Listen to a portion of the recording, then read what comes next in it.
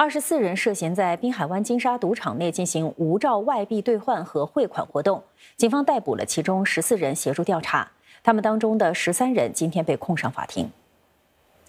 根据警方文告，中央警署在刑事侦查局、商业事务局和滨海湾金沙人员的协助之下，前天起展开两天的联合执法行动。初步调查显示，有十七名男子和七名女子在赌场内涉嫌在没有执照的情况下提供外币兑换、汇款以及买卖筹码服务，